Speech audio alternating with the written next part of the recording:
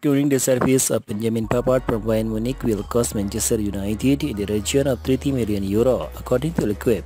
The Prennes outlet believe United are pushing ahead with the defender as their priority with club keen to replace and upgrade the imminently departing of Harry Maguire.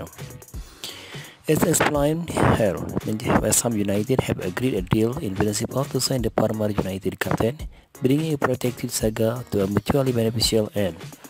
Both club and player, Harry Maguire has found down the picking order at United, drastically resulting in as the top choice option at centre back behind Varane, Martinez, Lindelof, and even Luke Shaw.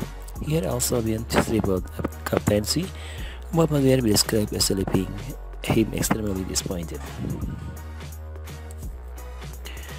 The French paper believes the transfer be around 25.9 million pounds or 30 million euro Mark was service as Benjamin Pavard only has 12 months remaining on his contract with Bayern. The defender has also expressed a desire to experience a new league to Bayern official, who have been planning for his departure this summer. The deal for Kyle Walker helicopter from Manchester to Bavaria was thought to be close, though his disappearance to have found proud. It will represent an excellent price for United, however, particularly once the PA for is factored into the equation.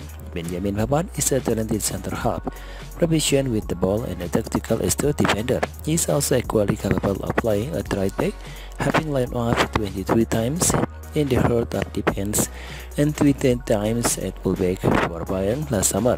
Benjamin Pavard won the World Cup with France at right back in 2018.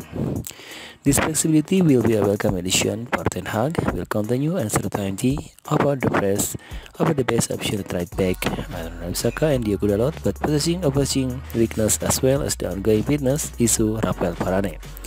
Benjamin Pavard has a solution to both problem at a price which constitutes a bargain for a World Cup winning defender.